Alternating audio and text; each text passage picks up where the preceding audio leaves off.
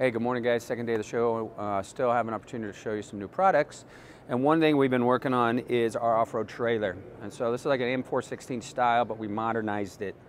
Uh, we upgraded the suspension, we upgraded the frame, uh, we electrostatic plated the whole entire frame and body, and then we rhino lined the, the, the, undercarriage of the frame and the inside of the bed. So it's been designed and built to last but it's been completely upgraded. So start with a two inch box frame that goes from front to back.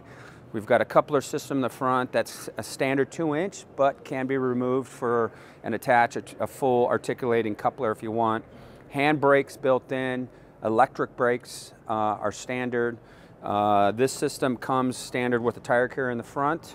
As we kind of roll around to the side, what's unique about this as well is you've got this new tie down system that we've integrated into it that gives you, it's almost like a 80-20, but our own version of 80-20. You just pop this off, slide your, uh, your T-bolts in here, and you can mount racks, canoes, crossbars, anything you want.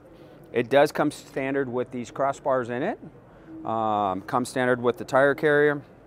Comes standard with the step area around the, uh, around the fender flares.